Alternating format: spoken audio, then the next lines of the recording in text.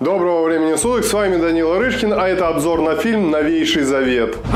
Новейший завет. И в данном обзоре на примере пяти причин Пяти причин я расскажу, почему стоит смотреть фильм «Новейший завет». Хоть он вышел в 2015 году, но если вы его еще не посмотрели, то сначала досмотрите данный ролик до конца, а потом, ну, делайте выводы. А мы начинаем.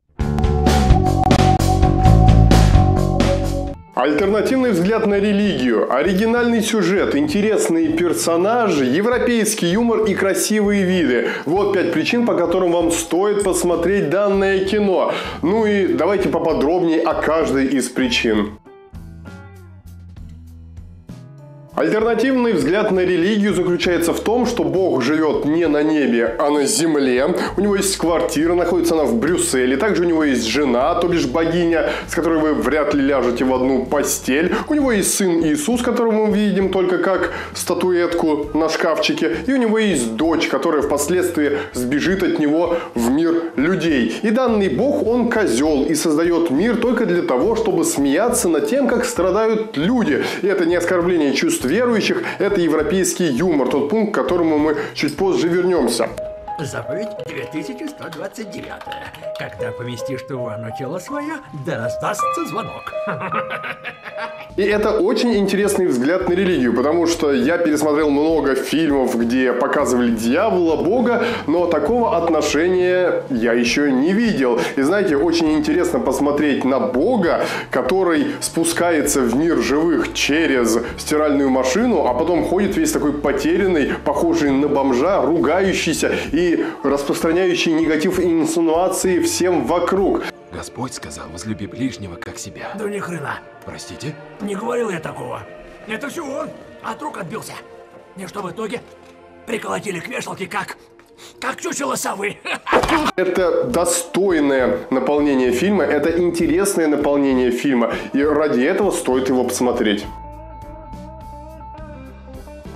Оригинальность сюжета состоит в том, что как минимум есть бог, который живет на земле в Брюсселе, у него есть жена, и помимо сына Иисуса есть дочь.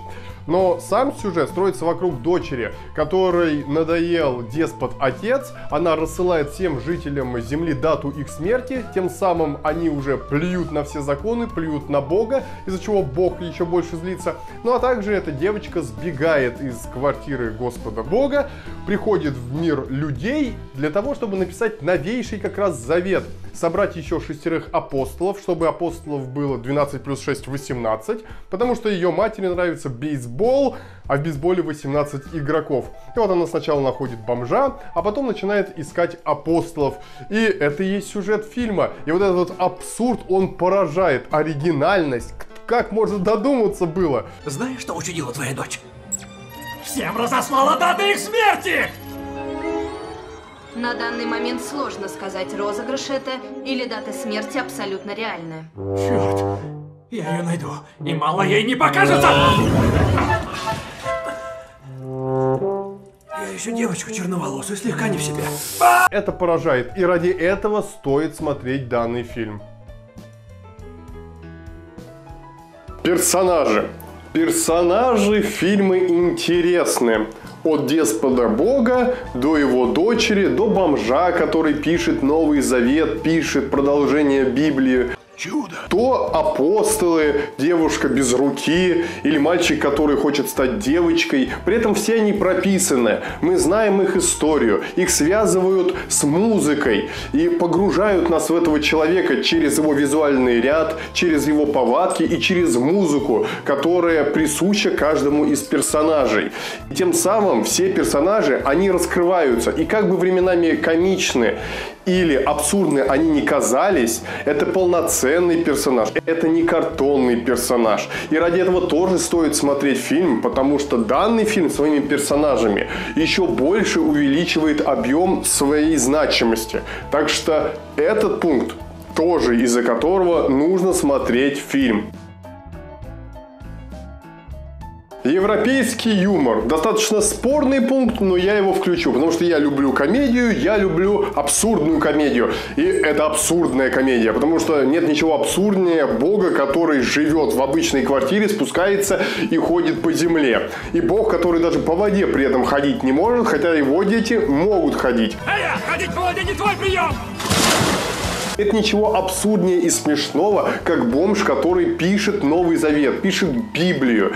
Или мальчик, который переодевается в девочку, точнее даже хочет стать девочкой. И вот на этом, на всем основывается комедия данного фильма. Мужчина возвращается домой, а его жена лежит рядом с гориллой. И горилла прогоняет мужика из его квартиры. Что тут происходит? Да, абсурдно, но смешно. И это тот пункт, благодаря которому фильм интересен. И из-за которого я считаю, что данный фильм стоит посмотреть, если ты его еще не видел. Красивая картинка, красивые кадры. Самый субъективный пункт, потому что красота для всех разная. Но это европейцы. Они умеют делать красиво и снимать тоже они умеют красиво. Поэтому фильм красивый. Тут я не буду особо распыляться. Вам просто стоит посмотреть. Даже трейлер. И вы поймете, что даже самые серые уголки, которые показывают фильм, они не отталкивают. Бог есть. Он живет в Брюсселе. У меня впереди 62 года. Проверил? А! За ними интересно наблюдать, их хочется смотреть. И поэтому я считаю, что картина красивая, и это тот пункт, из-за которого нужно смотреть.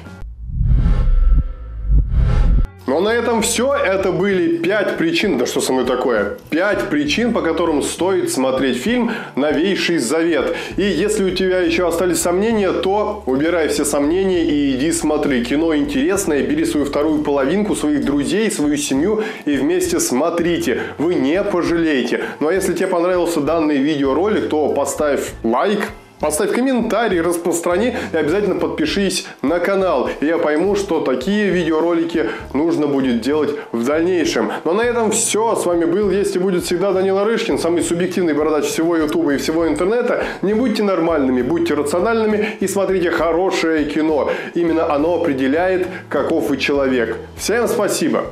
Всем дизлайк.